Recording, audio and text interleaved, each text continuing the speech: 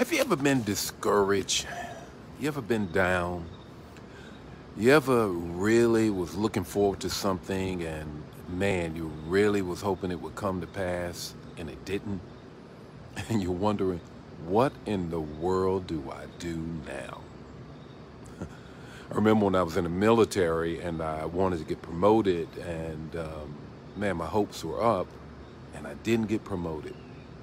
I was extremely disappointed. How do you overcome disappointment? How do you overcome disappointment? That's what we're going to talk about this morning. Good morning, everybody. It's time for Morning Manna. So thankful and grateful to be with you on this morning. And uh, just want to greet a couple of people on this morning. Good morning, Tony. Good morning, Anitra. Good morning, Sean. Uh, good morning. It's great to see you all. Good morning, Sharon. It's a wonderful morning and I have a word for you. You already know, going to give you the text to talk and the takeaway in five minutes or less. And this morning, I want to talk about how do you overcome being discouraged? How do you overcome being discouraged? You know what? Maybe you put a little bit of that in the chat area. How do you overcome being discouraged before I share the three things that uh, I want to share with respect to that? Good morning, Angie. How are you doing on this morning? Good morning, Thelma. Good morning, Nafa. How are you guys doing on this morning? I want to get into this word on this this particular morning. And in James 1 and 12, James 1 and 12 talks about how blessed is the man who is steadfast, who is steadfast. I'm going to give you the text, talk, and the takeaway. James 1 and 12. Blessed is the man that is steadfast, who keeps at it, who doesn't give up three things I want to share with that particular scripture.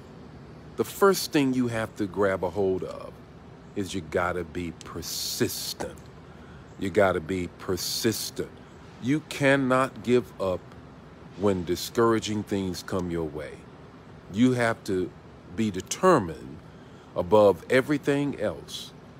James also said, when patience has had its perfect work, you count everything joy when patience has had it perfect work. So there are times when you are going to be discouraged. Trust me, you are.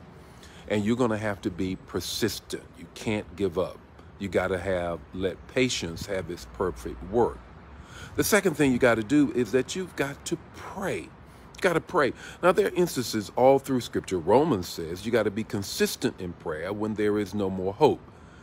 Then there is the Canaanite woman who, you know the story, when she's asking Jesus to come see about her child.